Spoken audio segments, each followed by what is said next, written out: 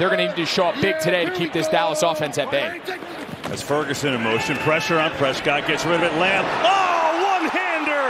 CeeDee Lamb. Yeah, I think this is going to be PI. Did he even look? No, I mean, he just stuck that big left hand out there right on cue. He knew we were talking about him. I think they're going to Pass get. interference. Defense, number 27. That penalty is declined. Results of the play, first down. Yeah, they called it on Pinnock, the safety, but I think it was on Deonte Banks, number 25. You see him holding that right arm, but it didn't matter. I mean, all CeeDee Lamb needed was that left hand. And the extra five yards was a penalty on Banks, who was on Lamb again. Here's a fake. Now it's Lamb on the reverse. Has a seam. CeeDee Lamb scores. Touchdown, Dallas.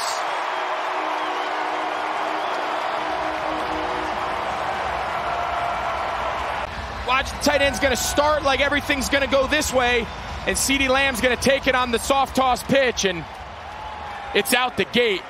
Nice job there by Schoonmaker, the tight end, on the kickout block. Here we go. Play clock at zero. They just get it off. Prescott pumps. Has a man. CeeDee Lamb has got it inside the 30.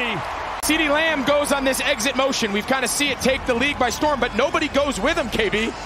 You see Deonte Banks, Flott, they were kind of uncertain of who was supposed to bounce out to him, and you see Dak say, just run, bud, just go. I'm going to lay it out there. Just miscommunication with the pre-snap motion, and Yeah, here we go. Second and 18. Prescott delivers. Oh, good catch made. Yeah, Dak kind of puts this low and outside. Watch the hands catch. Hmm. You know, we see so many. That ball is clear, clearly caught. We Four man rush. Stunts picked up. Deep over the middle, and CeeDee Lamb who makes another big catch. Into Giants territory, down to the 40. This is just a simple little vertical seam. They have Dane Belton, who's a safety. He's playing middle linebacker. Two split safeties. He's got to get more depth. He's got to elevate this ball. CeeDee Lamb's able to. Yeah, here we go. Let's take. Looking. Throwing end zone. Another one for CeeDee Lamb and a touchdown, Dallas. Take a look here at McCloud, number 44.